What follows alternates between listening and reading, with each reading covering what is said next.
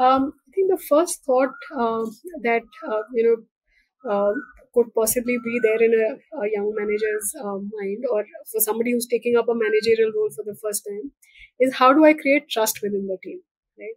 When there is trust, there is transparency, right? So, um, so I, you know, and that's really the starting step, right, of creating a healthy work uh, culture. So, uh, so how do I trust my people more, and you know, and uh, empathy and trust combine in a way uh, to give an example say you know so an employee says that you know in the morning i'm not able to work because i have to take uh, somebody to the hospital or i have an exam or you know whatever their or my daughter's uh, pta meeting is there or whatever uh, but i will stretch in the evening. So you know this is the outcome that needs to be get done uh, by the end of the day today. It will be done but um, but i need some flexibility to get you know to manage my personal aspects so how do you you know build the uh, the culture where people feel safe to speak up, and yet you're uh, putting in uh, enough structure and processes to ensure outcomes. So it's a fine line to tread, uh, but it's uh, you know it's a very possible line to tread once you start uh, on that path.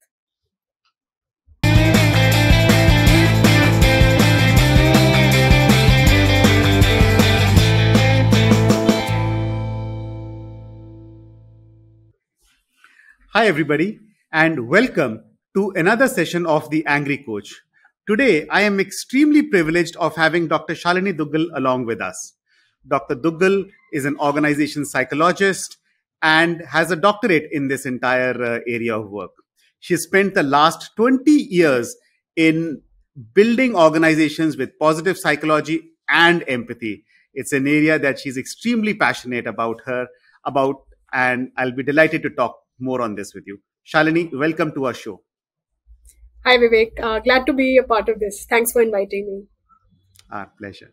Shalini, as we start, a question. What makes you angry?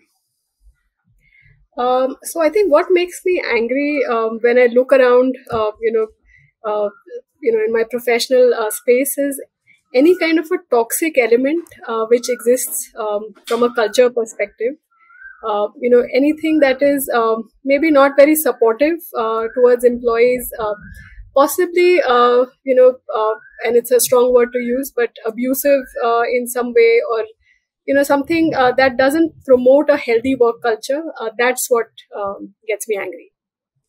That's such an amazing thing. And you know what? I think it makes all of us angry as well right i spent the last 20 23 odd years working and anything which is toxic, anything that prevents healthy working as an environment is something that would make us angry. Any examples that you can share around this?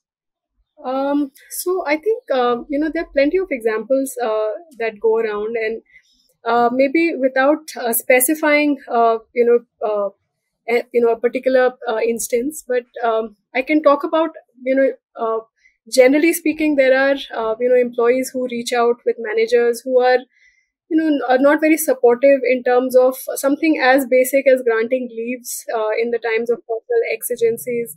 Uh, employees are afraid to speak up, uh, you know, uh, regarding these issues, fearing any you know some kind of a repercussion uh, from the hands of the manager. Um, or you know even talking about it in an open manner so you know and apart from their personal, um, you know, uh, sort of, you know, uh, uh, challenges or, you know, things that they want to talk about, even from a workplace standpoint, uh, I've seen employees who are afraid to come up with ideas or speak openly about, uh, you know, with a different opinion uh, regarding some workplace aspect. because there's no concept of psychological safety, right? So if they speak up, you know, with a differing viewpoint, people are not uh, very you know uh, feel very safe about how it will be taken uh, you know going forward at the time of maybe feedback or appraisal or you know any of those things. So maybe those are some instances uh, broadly speaking. That's a very fair statement. So what i'm hearing from you is i'm unable to speak up because perhaps my manager or the organization is unable to provide this thing called psychological safety. Is that correct? That's right I'd be curious about this term psychological safety. What is it? What does it mean for an organization? Anything that you'd love to share? Sure. So I think in very basic terms, it means that um, you know there's a work uh, environment created where employees feel safe to speak up, right? And by speaking up, it could be about, um, you know, one, uh, their personal uh, issues, maybe something's, uh, you know, uh, bothering me uh, at the home front. Maybe I'm, you know, not able to sort of, uh, for some time, contribute 100% because of a personal exigency, which could be, you know, maybe to do with some, you know, a family member's illness or you know any such thing. But uh, people feel afraid to voice it because they fear a repercussion. Or even um, you know to come up with uh, anything different that they want to implement at the workplace which doesn't go uh, according to the manager's uh, line of thought or the leadership's line of thought. Because there's no concept of safety. So they don't know how it will be taken and how it will come back to them. So uh, it's really about creating that safe working uh, environment. That's that's in basic terms that's what it implies. So basically if i am an employee i I hesitate speaking up because I don't know the way it's going to be interpreted by my manager or management. Uh, now, it could be a personal issue. For example, I need leave because, and then you are a little scared. How will it be taken? So you'd rather, perhaps, in some cases, just lie about it. Oh, I'm not well, or something else, because you're not sure of if you can speak the truth in the right way. And the second instance that you also shared is um, it limits innovation because I tend to keep my ideas to myself, not knowing whether if I share it, how will it be taken?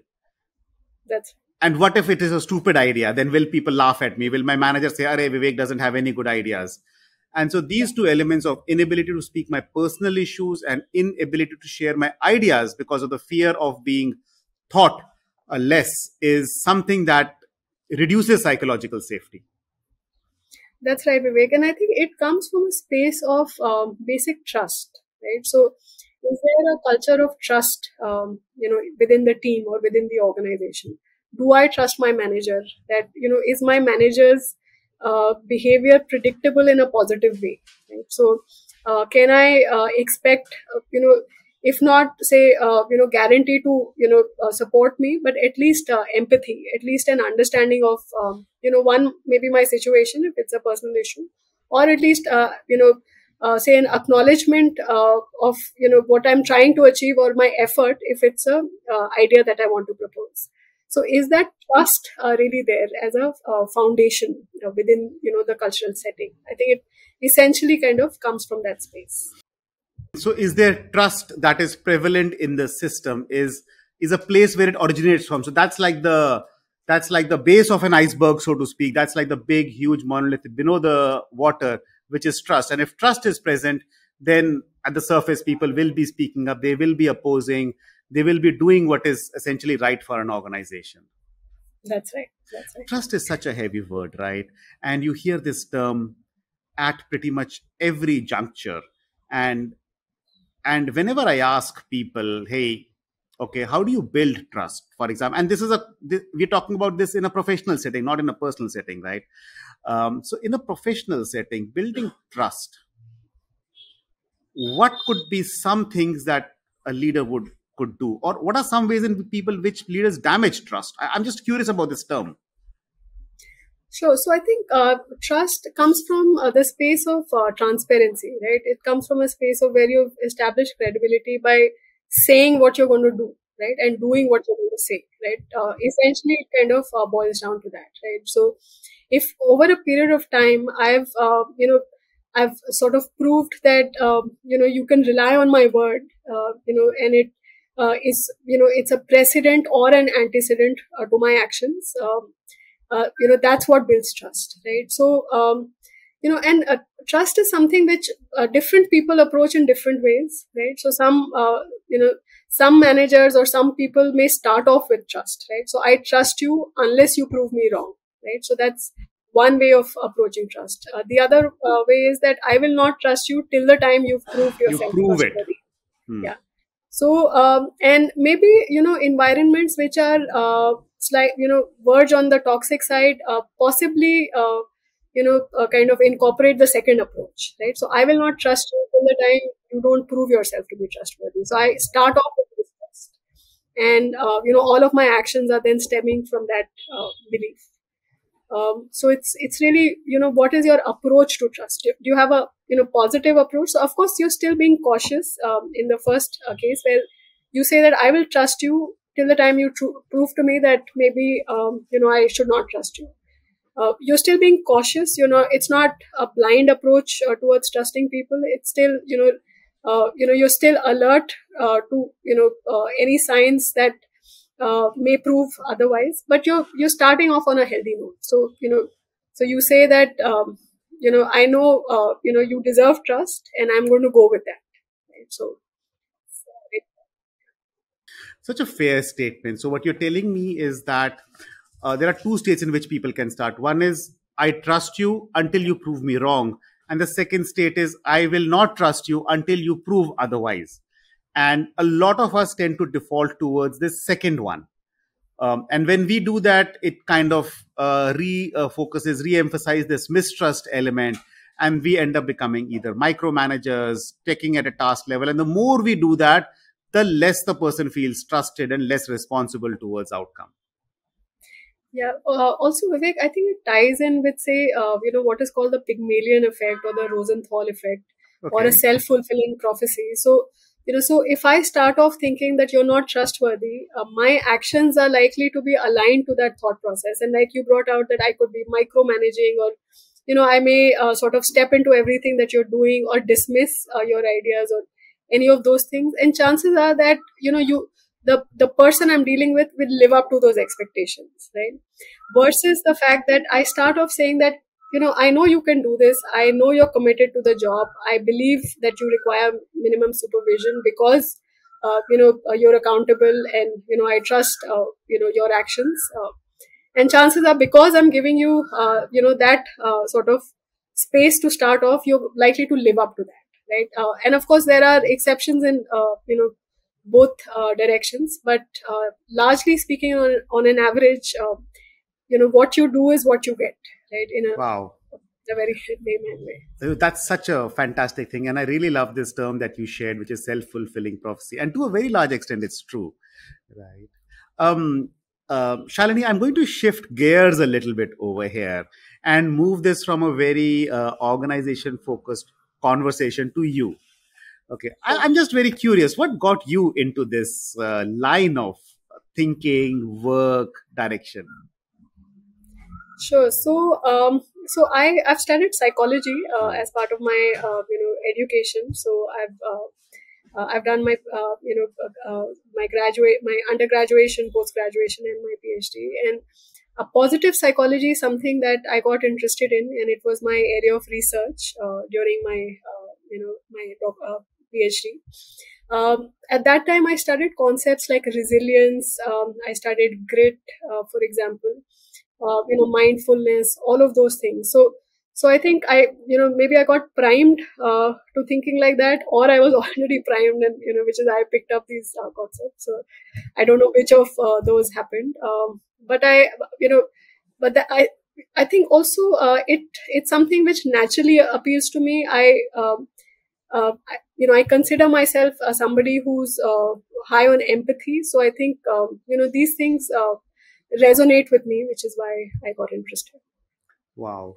And now you focus on organizations and help them build this mindset of positive psychology as well as empathy. That's right. Love to hear more about this. Um, and of course, no names or anything, but love to hear some experiences, some cases, transformation journeys that you've experienced? Um, sure. So, um, you know, as a manager uh, in my own organization, um, this is something that I consciously practice uh, with, uh, you know, the people that I work with. Um, so this is something that, uh, you know, so uh, I, I you know react from a space of empathy and trust. Uh, that's what i uh, try and do. Also in many of the programs uh, you know that we run um, as you know as part of uh, you know the l&d uh, offerings uh, empathy trust etc these the, i think there's a there's a lot more acceptance a lot more acknowledgement of the significance of these concepts. So there's a natural um, you know sort of uh, a need for this, uh, you know, especially after the COVID uh, lockdown, where uh, you know aspects of mental health have become more mainstream and it's more acceptable to uh, talk about these uh, things. Hmm. I think you know some of the things that kind of go hand in hand are the concepts of trust and empathy, you know, from a manager so standpoint. So, so, uh, so you know, those things are built into some of the programs. We, you know, we drive it uh, with the managers. We, uh, you know, with the leadership um, at the employee individual level. So, so those things are happening. Uh, I think you know um, maybe one of the cases I can uh, talk about is um, of an employee who uh, uh you know wanted uh, professional growth and uh, was kind of um, you know not able to get it in the normal sort of routine on th- of things because of you know the tenure being short, etc. And you know the employee went ahead and put in his resignation right because they had a better offer outside. Um, however, uh, you know, post uh, discussion with the manager, and you know, this was uh, uh before uh, the you know the discussions had started, and this was more of a reactive uh, stance after the appraisal outcome, etc. But a post discussion with the manager, who took you know an approach of you know of empathy, of not taking it personally to say that you know just because the employees resigned, um, you know, suddenly the employee is now no more an ally, but more of a foe, you know, because he decided to uh, quit the organization. Hmm. So, not operating from that space, uh, still continuing to show, uh, you know, whatever uh, builds engagement uh, for the person, um, you know. Uh, so the employee eventually took their resignation back and came on board as, and is now performing really well. So that's just maybe a small um, story of transformation. Wow. And it also highlights the importance of empathy in just employee retention. Correct. Um, if I believe that I am thought of as an equal in the organization, if I believe that I matter in an organization, my probability to remain there will be higher. Uh, versus if I am considered as just a person who needs to type and get some things done. So very, very. I agree. I, uh, yeah, also just to add to that, I think concepts like you know uh, what you said about uh, the person mattering, right? So do I matter, right? So uh, and those things really also come about by uh, maybe building a sense of purpose uh, for the employee, helping them connect to you know kind of what they're doing, how it really adds up in the larger scheme of things. So apart from you know doing the relationship building, doing the connect with the employee. and you know doing the autonomy where you're practicing a lot of trust. Um, I think the you know uh, bringing in some element of meaning and you know connecting it to uh, the individual's purpose and whatever that purpose could be, right? And everybody is seeking different things in life. So how does um, you know how does your work kind of uh, add up to what you want in the larger scheme of things? I think. Uh, doing that also, you know, uh, ultimately leads to better uh, performance, better retention, and more satisfaction. I think for an individual, apart from the organi- uh, organization uh, outcomes, also the personal uh, satisfaction or um, you know overall happiness index kind of increases. That's a very fair statement. So what I'm hearing from you is uh, organizations that are able to instill this sense of purpose in their people and are therefore able to unite people towards a common outcome or a common goal will experience that people are a more connected with the organization and also in general more happy uh, working over there. Is that fair? Uh, I think that's completely fair, Vivek. That's a nice way to sum it up. Ah, interesting, interesting. Thank you so much for sharing this. This is very helpful. I have a question for you, and this is perhaps a personal problem as well. And I bet I echo a lot of managers who want to be empathetic and also deliver results at the same time. Right. Um, a lot of people tell me something like this, uh, Vivek, you know what? I have to keep these people tight because the moment I will let go of the reins or the moment I let things go, you will just find a general misalignment, erosion. And if I start becoming empathetic, then everybody starts giving me excuses of why something cannot be done. And I'm running a ship here, right? I'm running a business over here. Uh, I need to get work done no matter what the cost. So how do you weigh in this element of empathy as a manager versus getting things done? Sure. So, um, so you know what you described to me, um, the the underlying emotion I pick up there is that of fear. Right? So it's a need for very high control. Right. So everything has to go as per what I want. Right. So I define the outcomes. I define the ways to get to that outcome. Right. And everybody or everything has to adhere to that now, uh, that's one way of running ship. Um, and maybe, uh, you know not the most uh, sort of open uh, uh, way of uh, running it maybe you know if the more you try and curb people the more um, you know you know to maybe use that word maybe um, you know claustrophobia it, or suffocation it could lead to right so if i i know that i need to prepare an excel and i can only prepare it in x way which is the correct way of doing things eventually I, you know uh, my my own uh, sort of you know motivation to do it um, the intrinsic motivation may go away right? So why i'm doing it is because of fear because i have to do it in x way and x way has to be correct. Or it is some extrinsic mot- uh, motivation in which i'm getting say you know some kind of a reward in a monetary reward some kind of public recognition and all of those things.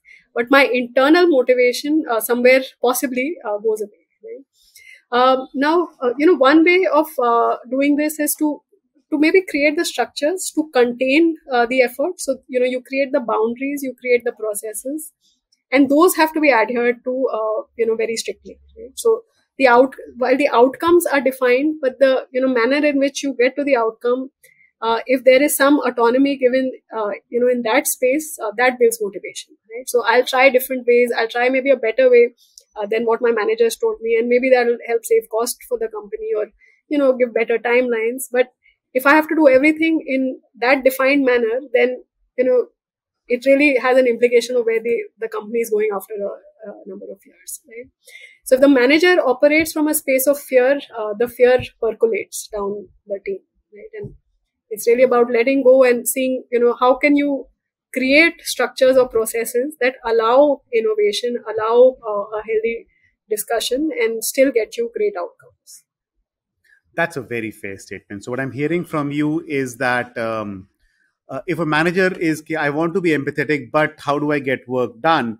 Then the manager needs to self introspect and see if the plane that he's operating from is he or she operating from a plane of fear and therefore a need of control or he's he or she actually operating from a space of empowerment. And you've you've helped define that to a certain extent as well which is um, define the outcomes or create those common goals. And maybe we can call it like a like a team's purpose or a team's goal. And then let people figure their way towards that outcome. That's right. That's right. That's a very fair point. Thank you so much uh, for sharing this, Shalini. Uh, as we wrap up, I'd have one more question for you um, to a young manager, to a manager who is starting off leading others, what would some of your key tips be so that they can become more empathetic and positive managers for their teams? Um, I think the first thought uh, that uh, you know uh, could possibly be there in a, a young manager's um, mind, or for somebody who's taking up a managerial role for the first time, is how do I create trust within the team, right? When there is trust, there is transparency, right? So, um, so I'm, you know, and that's really the starting step, right, of creating a healthy work uh, culture. So, uh, so how do I trust my people more, and you know, uh, and uh, empathy and trust combine in a way uh, to give an example say you know so an employee says that you know in the morning i'm not able to work because i have to take uh, somebody to the hospital or i have an exam or you know whatever they or my daughter's uh, pta meeting is there or whatever uh, but i will stretch in the evening. So you know this is the outcome that needs to be get done uh, by the end of the day today. It will be done but um, but i need some flexibility to get you know to manage my personal aspects so how do you you know build the uh, the culture where people feel safe to speak up and yet you're uh, putting in uh, enough structure and processes to ensure outcomes? So it's a fine line to tread uh, but it's uh, you know it's a very uh, possible line to tread once you start on that path. So you're saying very consciously put an effort on building trust right. give people or create an environment where people can speak up and That's naturally you will end up becoming a good manager. That's right. This is interesting. I'm going to push you a little further with your permission, Shalini. Um, sure, this is for a young manager, right? Um, what would your advice be for an executive leadership? So, let's say the CXOs of an organization or CEOs of an organization. What can they do to build a positive, empathetic culture in their organizations? Uh, so one is, um, you know, to define the set of values uh, that you want to uh, percolate in the system, right? And those uh, values could be, say, trust, they could be respect, they could be integrity, or any of those things, right? So uh, that's really step one. the second is, do you walk the talk, right? So any kind of culture creation really comes from the top. So are you, you know, doing what you say? Right? So are you establishing your credibility in those, you know, for those values that you're trying to define? Uh, so that's the second. The third is uh, to also have your ear to the ground. Right? So so while you know you could be doing everything, you could have defined the kind of culture you want. You're walking the talk, but are you clued into what's happening in the organization? Right? So are there uh, you know is that culture really uh, being percolated, or are there micro cultures which have sprung up uh, in pockets? So be aware and uh, address those. I think those are some of the things that could be done. Mm, so first is define the values that you really want an organization to display. Second is make sure that you walk the talk. So if you say respect, uh, don't be disrespectful to your own people or be dismissive of their own ideas around the same. Is that correct? That's right. Hmm. I think that's a very, very fair point. And then let the culture percolate across the organization. That's right. Uh, Shalini, thank you so much for this time today. It was a pleasure having you and hearing you. Uh, as we leave, any last thoughts that you'd like to share? Uh, so, uh, so Vivek, thanks for having me on this show. I completely enjoyed this conversation, and this is a subject which is very close to my heart. So it's uh, it was great uh, to talk about it, and thank you for uh, adding to my thoughts along the way. Excellent.